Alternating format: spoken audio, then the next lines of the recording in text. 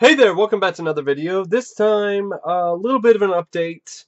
Uh, I got a few DVDs to show you guys that I picked up fairly recently. But really what this is, it's uh, just showing you some Fangoria magazines that I got in a trade with a friend of mine named Shonda. And I traded some Laserdiscs that I had that I didn't wasn't really watching or using for some a bunch of uh, Fangoria magazines. And it's a pretty good start to a collection. I've been looking to get some actual issues of Fangoria for years. I just haven't really been able to find any. And some of these are really rare. So to get them for pretty much just trading for Laserdiscs was a pretty good deal. Uh, I do have Fangoria, like issues of Fangoria uh, in scans that were scanned uh, from other people's collections that and then were posted online that I downloaded but um, it's not the same looking at something on your computer as it is actually having the magazine in your hands. It's a very uh, cathartic, sort of unique experience that I think a lot of kids nowadays are missing missing out on because they're so used to oh I'm just on my Kindle or I'm on I don't read books. It, it, they don't have that connection with what they're reading as people like myself are used to when they go to the library and they check out books and they buy books. Trust me, physically holding a book in your hands and reading it or a magazine is is is a much more memorable experience and a much more personal experience than it is to just read something on your computer to read something on a Kindle. I mean, that's cool, but I mean, it's just not the same. There's no connection. There's, the connection isn't there. Uh, it's a completely different experience that I definitely do recommend younger uh, kids or you know younger people to definitely who might be watching this video to definitely experience more because it is a very unique thing, especially when it comes to things like Fangoria magazines or uh, big coffee table books that have some just really glorious, really wonderful fold-out photos and things like that.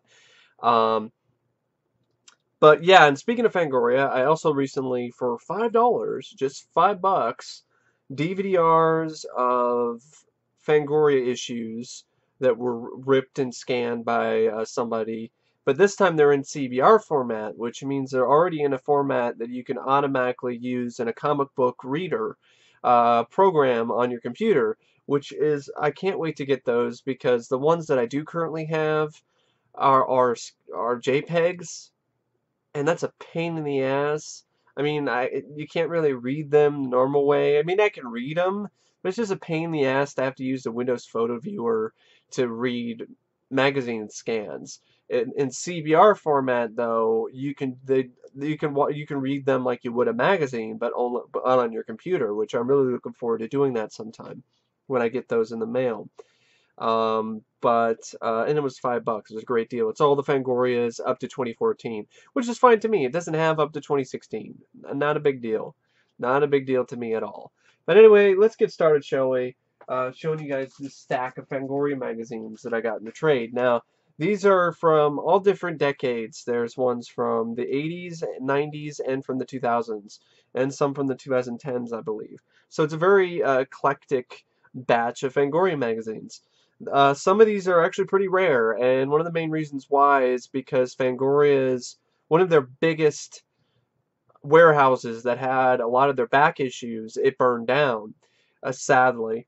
So a lot of the back issues ended up becoming really highly collectible over the years, and they still are.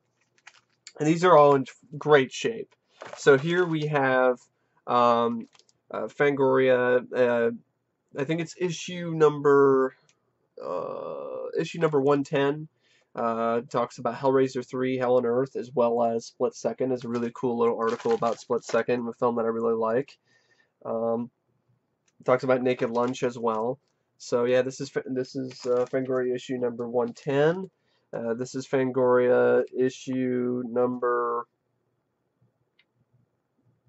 I'm just trying to see which where it is. Is it? it's not telling me. Yeah, they're not showing what the issue number this one is. Uh, I don't know what exactly which one this is. It'll probably show it in the magazine itself. but um, this is one from 1988. It talks about bad dreams, uh, Maniac Cop, uh, Slaughterhouse Rock, which is cool because I'm a fan of Slaughterhouse Rock. It also talks about Poltergeist 3. So, uh, yeah, really cool. Really cool to have these.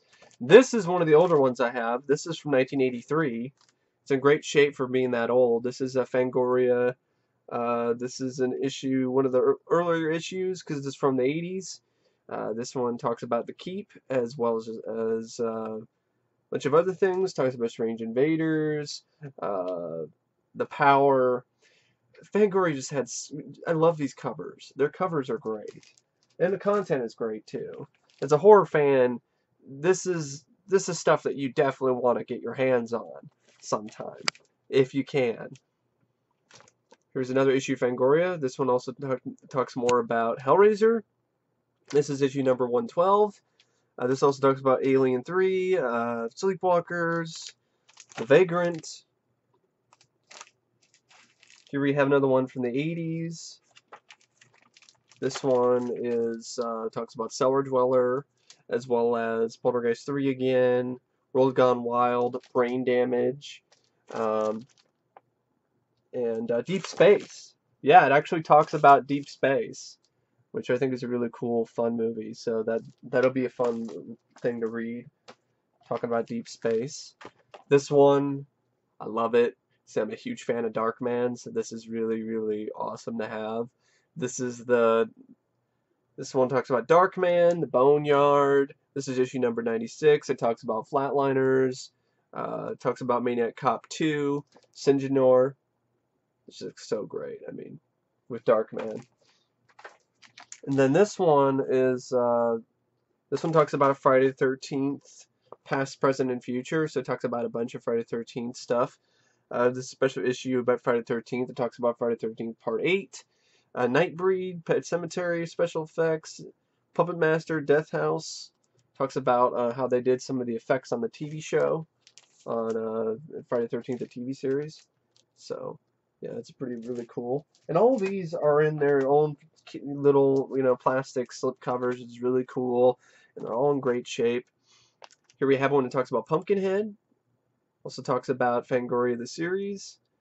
I mean, uh, Friday the 13th, the series. Fangoria didn't really have a TV series, but it would have been cool to see that. Uh, Werewolf talks about the show Werewolf, Night of Living, uh, Return of Living Dead 2. Talks about Cameron's Closet, Blood Diner, uh, Prison on the bottom there. This is another one of the older ones that I have. Uh, this one is, and I put this in the wrong way here. Hold on a second, because I, I'm, I guess I put the I put the issue in the wrong way in the little slip cover. And I'm not. These are these really these are really some of these are really old and rare. Like these older ones in particular are definitely harder to find than some of the newer ones. Although this is says 5.99, but really I got it for this issue probably nowadays it'd probably be more than that. This talks about Xtro. Uh, talks about the grisly effects of Steve Neill. Talks about uh, Q, uh, as well as the Sender, Talks about Poltergeist. Has some really cool uh, photos uh, with the cast and crew of Poltergeist who worked on the effects. This one talks about Bram Stoker's Dracula which is one of my all-time favorite horror films. also talks about Dr. Giggles, Maniac Cop 3, Candyman, Dario Argento's Trauma, issue number 118. This one talks about Fright Night Part 2. Uh, Beetlejuice has a Beetlejuice poster in it. Talks about the Blob remake. Uh, so yeah, another good one. All of these are great. All of these are I, I I'm really glad to have. This one is a, uh, I kind of started reading this already. It was pretty good so far. This is probably the oldest one that I believe I have. And this one is from 1982. This is, uh, this one talks about, this is number 18. This is issue number 18. It talks about Rest in Peace, John Carpenter's The Thing, uh, The Beast Within, and the effects of, of Cat People, the remake. This one talks about ticks, which I'm a big fan of. I love this movie, so it's really cool to see how they do the effects. It also has like a special issue that talks about all these other types of killer bug movies. This one, uh, yeah, it also talks about the Tommyknockers and Needful Things and Jurassic Park. It's a 90s one. It's issue number 123. Then we have another one from the late 80s. This one is uh, talks about Dead Heat, which I think is a really cool movie. It also talks about Critters 2, Monkey Shines, Bad Dreams, Sleepaway Camp, The Dream Demon, and The Seventh Sign, as well as other things. This one, yeah, Vampire in Brooklyn, which is a terrible movie, but it does talk about Castle Freak, which is cool, and it's still Fangoria. I mean, I'm, I'm, there's no, why would I complain? It's still Fangoria.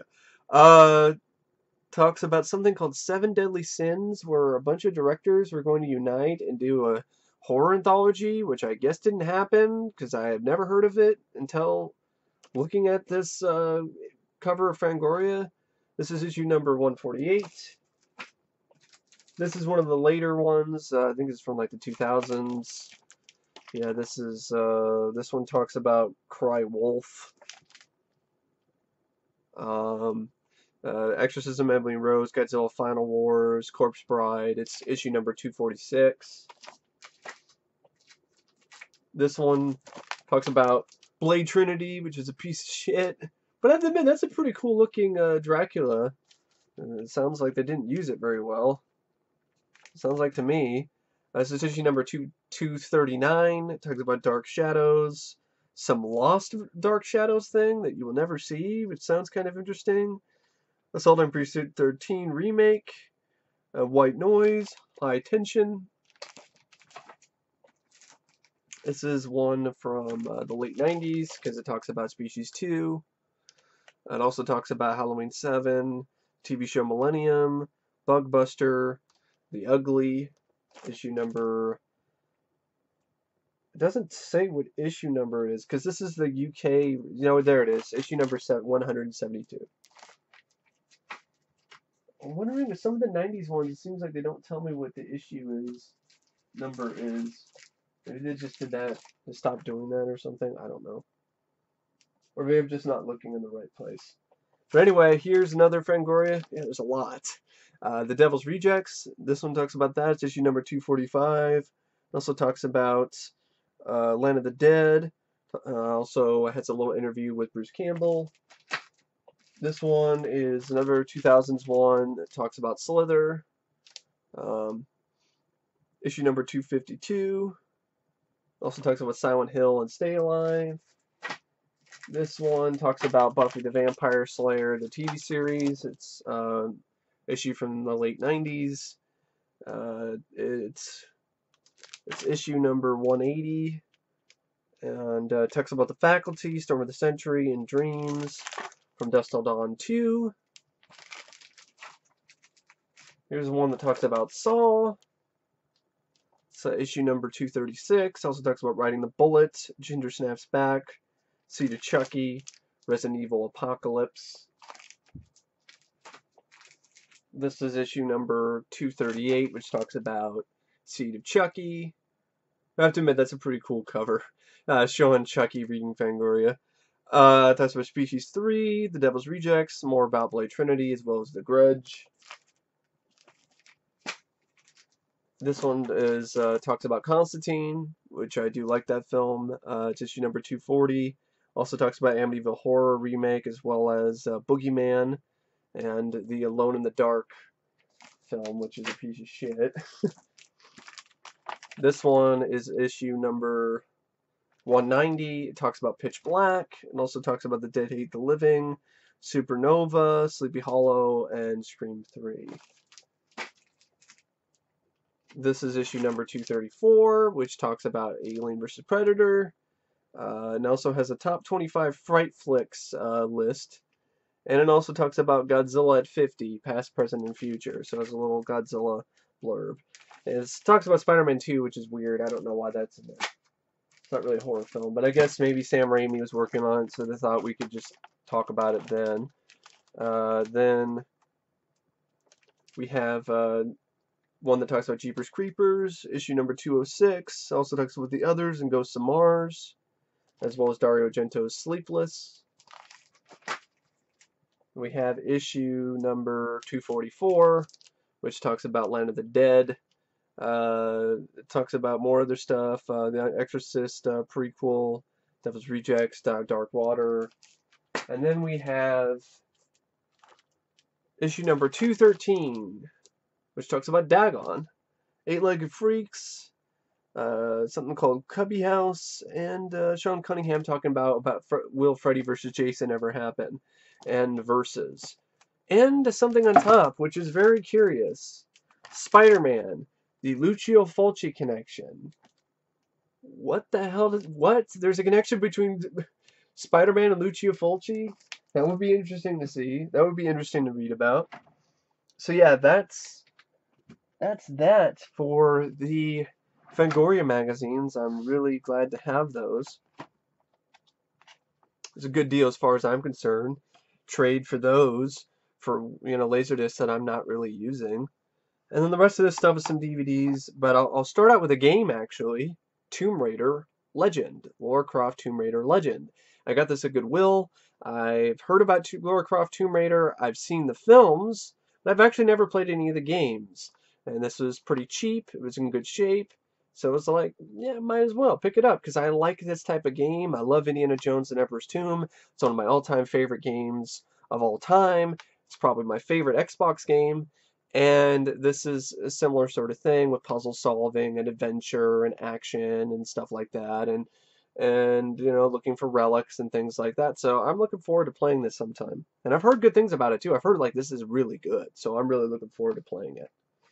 And uh, continuing with the miscellaneous stuff i also picked this up which is a little comic of the shadow which is a Dark Horse comic. It was a dollar, and it has it's sort of an anthology format. It talks about three different stories starring the Shadow.